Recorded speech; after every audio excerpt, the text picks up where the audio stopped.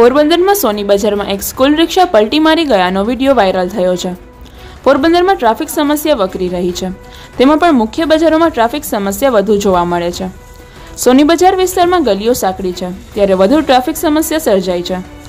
Social મીડિયામાં એક video viral થયો છે, જેમાં સોની બજારમાં એક સ્કૂલ રિક્ષા બાળકોને મૂકવા માટે જતી હતી. તે દરમિયાન આ રિક્ષા પલટી મારી ગઈ હતી, જે ઘટના સીસીટીવી કેમેરામાં કેદ થઈ હતી. આ બનાવને પગલે એક બાળકને ઈજા પહોંચી હોવાનું પણ જાણવા મળે છે. સોની બજારમાં ગલી સાંકડી છે અને દુકાનના ઓટલા હોવાને કારણે રાહદારીઓ અને વાહન ચાલકોને પસાર થવામાં મુશ્કેલી પડે છે અને ટ્રાફિક જામ સર્જાતા અકસ્માતના બનાવો બની રહ્યા છે. નિપુલ પોપટ પોરબંદર ટાઈમ્સ.